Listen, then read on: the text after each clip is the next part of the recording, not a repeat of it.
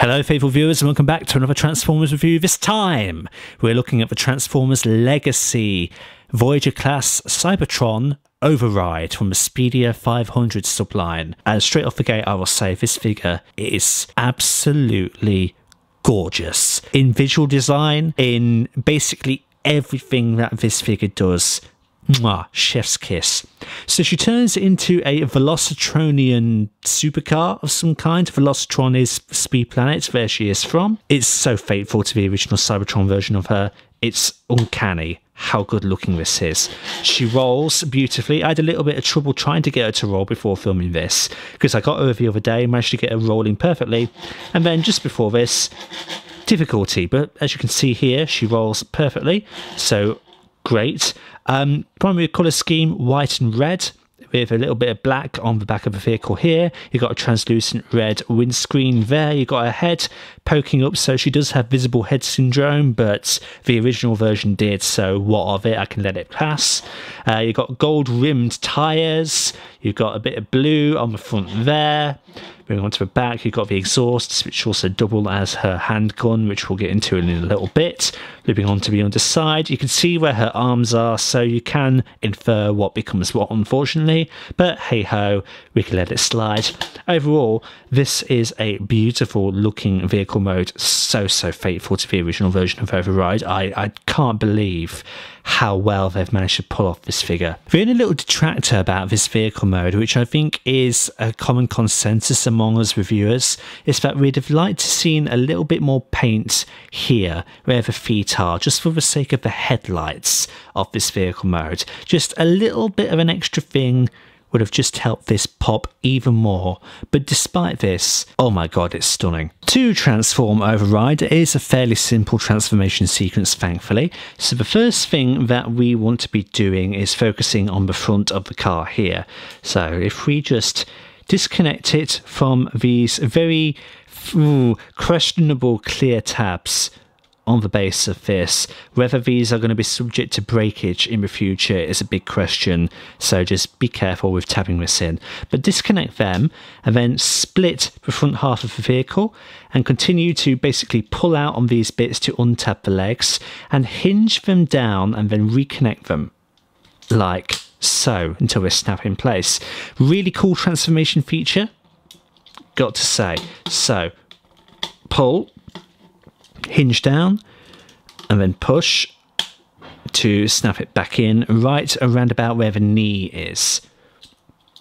Continuing with the legs then, we're going to take these gappage filler bits here, just fold them just like that on either side and then we're going to pull the feet and the heels down and then we're just going to rotate this back and into place. There's little notches there, there's a slot right there as well. So just try and line it up as you're plugging it in. And then rotate the legs forward. And that's them all done. Taking a look at the top of the figure, we're just going to spin her around and then disconnect the fists from these sticks that they basically grasp into, these slot into the open fists. That's pretty cool. And then continuing up here, we're just going to disconnect from the shoulders. They do actually tab in together. And then rotate the wheels all the way around. These are one of the back ends of them. So just get them situated like that. And then we're going to pull up on this and just hinge this back like that. And then we're going to take a look here and we're just going to disconnect that tab there's quite a lot of intricate tabbing in this, so just bear with. There's a tab there that goes into a hole right there. So just pull it out and get these hinged down like so. So same thing on this side. Just hinge it down like that. Continue pulling all of this back down and then take the windscreen, bring it forward until it snaps down and in place. And then make sure the shoulders are forward like this push on these pins and they will slide roughly into place. There are again notches on the very inside which line up with tabs So you've just got to get it right. It's incredibly hard to show on camera, but you just got to get it right. And also bend this bit back and then there are two connecting points up here. There's the red tabs on the colours there and then there are some slots there as well. So you've got to simultaneously try and get them in place whilst keeping it all collapsed.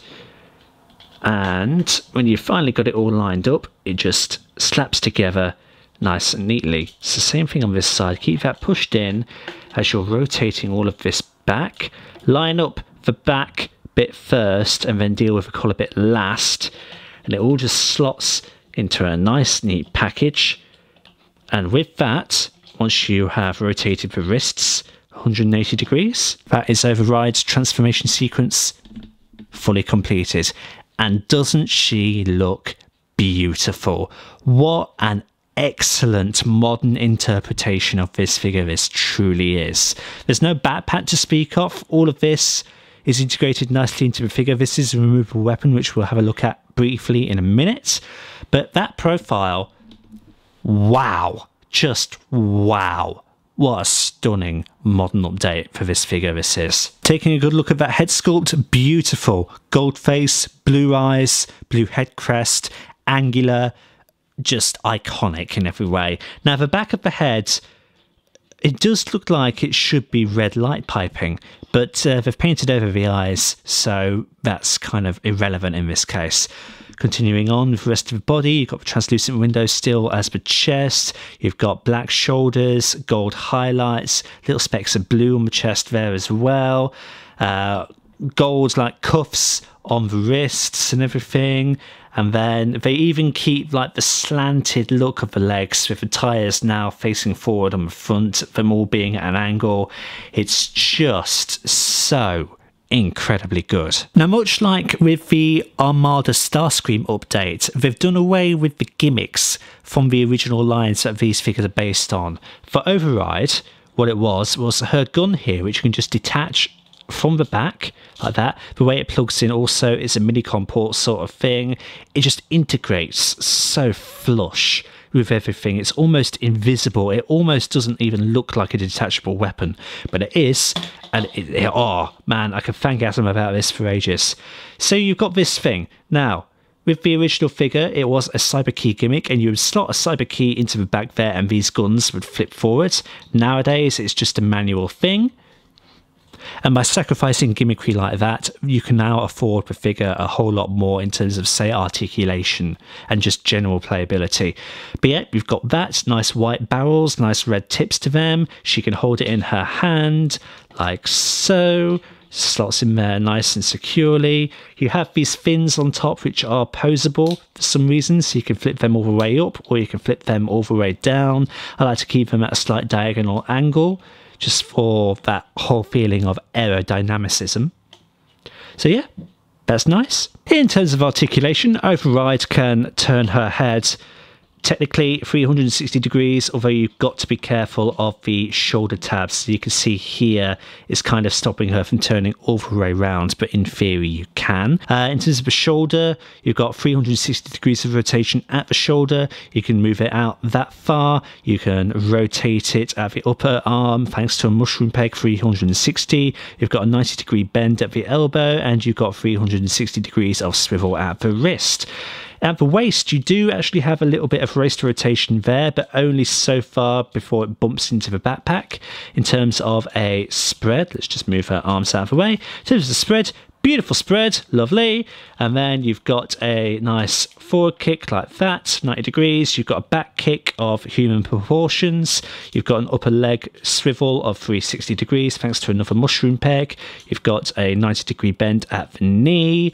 And then in terms of the feet, you have a little bit of up and down wriggle and you've got ankle pivot as well. So you can pull off a lot of dynamic poses with this figure. Excellent articulation. For a size comparison, here is Override next to fellow legacy figure. This is the update for Armada Starscream. Here she is with Energon Hotshot.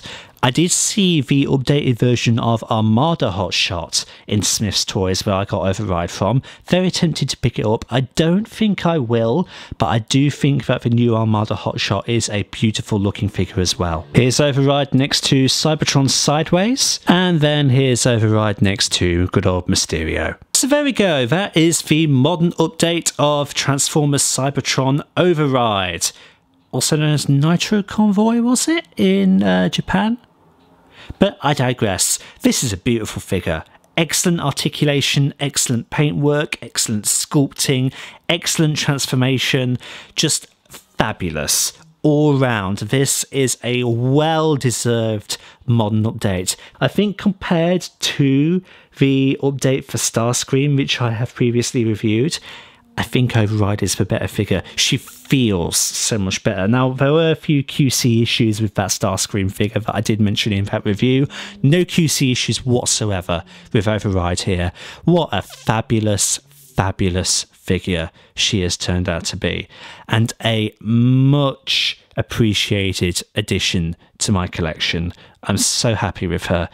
I highly, highly recommend this Speedia 500 Override just get her. Absolutely get her. You won't be disappointed. Thank you everybody so much for stopping by and checking out this video. Like and subscribe if you haven't already and share it around to help out the channel. And until the next time, see you all later.